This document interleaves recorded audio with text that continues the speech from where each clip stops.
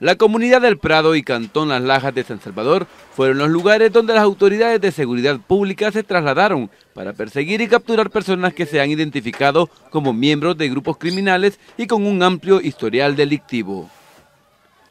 En la incursión se logró la captura de dos terroristas activos a pandillas, identificados como Daniel Alexander Martínez de 21 años y Edwin Antonio Ayala de 42 años. Los ahora detenidos se escondían en el interior de la comunidad y para poder ser identificados y dar con su paradero, las autoridades hicieron uso de drones de alta tecnología, a fin de tener una mejor perspectiva de la zona intervenida y evitar que cualquier miembro de estas estructuras intentara escapar. Ilopango, Soyapango y San Martín son otros sectores donde en las últimas horas dejaron 45 personas detenidas, a quienes las autoridades tienen identificadas como gatilleros, extorsionistas, postes y colaboradores.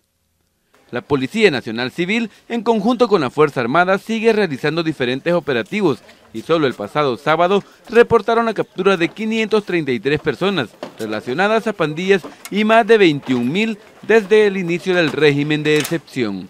Javier Benavides, Noticiero Hechos.